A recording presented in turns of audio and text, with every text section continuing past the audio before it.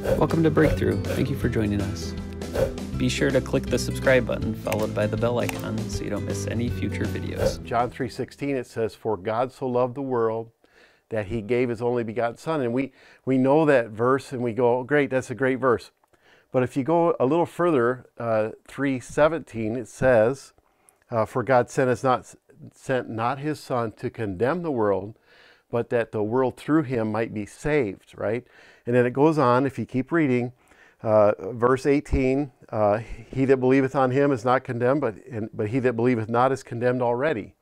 And then in verse 19, I'm kind of just glazing over this topic a little bit. It says, and this is the condemnation, right? This is the, the, the reason why we have no confidence. It's because light is shining in the world right? And, and men, we don't like it. We don't like light. We like our deeds to be covered up in darkness. And that's what Jesus does. That's, he comes to shine a light on our life. And, and he looks at our life and he goes, whoa. And I think what happens as a Christian is, is once the light shines on us, we feel exposed or even vulnerable uh, in, in, the eyes of God. And, and, and we think, well, God's looking at me and he's saying, oh, and he's, and he's shocked and he's like ashamed and he's like stepping back and going, whoa, wait a minute. But see, God doesn't see me anymore because he sees Jesus.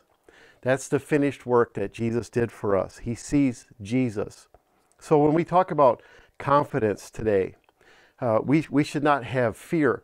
Uh, in, in 1 John it says, there, there is no fear in love, right?